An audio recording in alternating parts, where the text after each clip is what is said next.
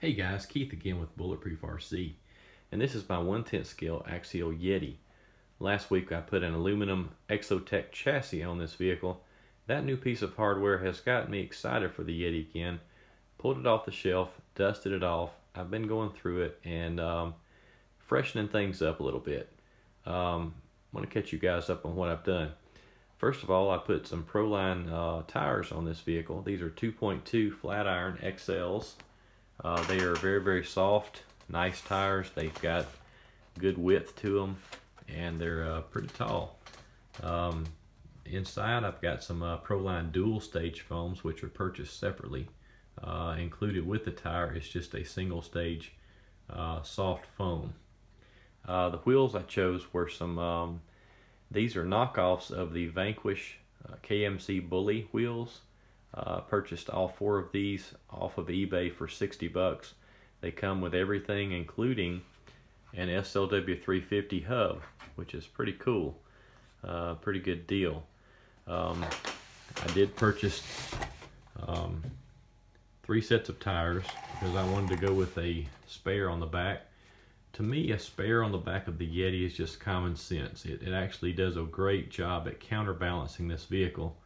Um, watch some videos, guys, on YouTube.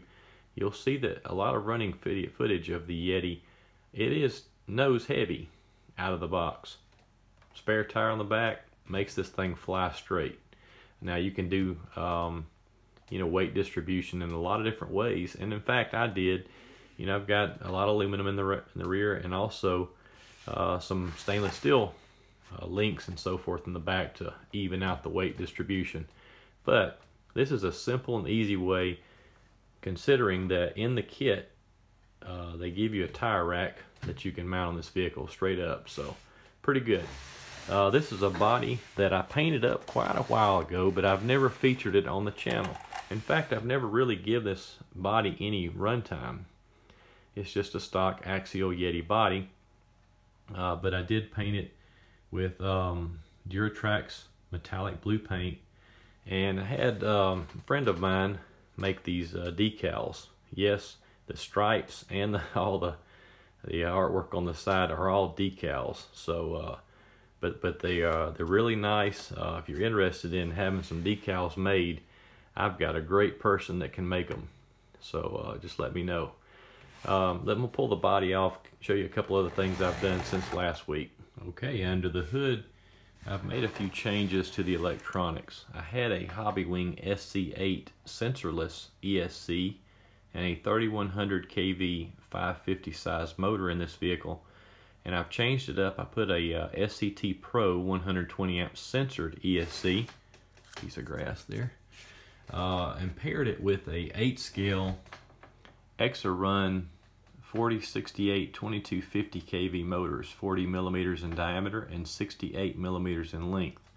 Now this is a little bit longer motor than the 550 and um, uh, with this um, Exotek chassis uh, you get that little carbon fiber plate that goes back here.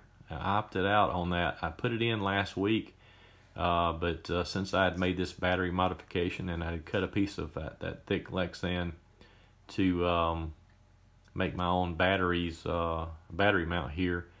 Uh, I did take that out and since the aluminum is recessed where that goes, I put some spacers underneath the Lexan to support the battery tray.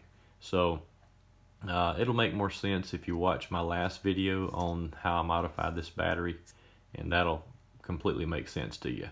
Uh, change the servo out as well. Um, I'm a huge Hitec Savox fan. Um, but I've never tried JX. I've heard about them. I've heard great things about them. But um, this servo is uh, quite a bit more powerful than the one I had in there last week. I think the last one I had last week is a Power Hobby. I think it's rated at somewhere around 300 inch ounces of torque. This one is rated at over 400 inch ounces of torque at 8.4 volts. So it's a bad boy. And it's not uh, too bad either. Uh, as far as speed, it's uh, 0.09 uh, transit speed, so it's got uh, got some good speed to it as well. Uh, other than that, all I've done since last week is this chassis was so beautiful. I didn't want to mess it up on the first run, so I cut another piece of that Lexan out and uh, made a chassis protector. Now, uh, T-Bone makes a great chassis protector for the factory chassis. I ran that on it since uh, since this vehicle was new a year and a half ago, and it's just done a great job. But the T-Bone chassis protector, uh, it would it might fit this with some modifications, but the screw holes didn't match up and all that, so made my own. Uh, just took a piece, uh, a sharpie and uh, a ruler and marked off the edges, cut it with a jigsaw, drilled out some holes and put some recess in there so that way we could countersink the screws and I was really, really surprised at how well uh, the Lexan met, met up with the uh, the bumper.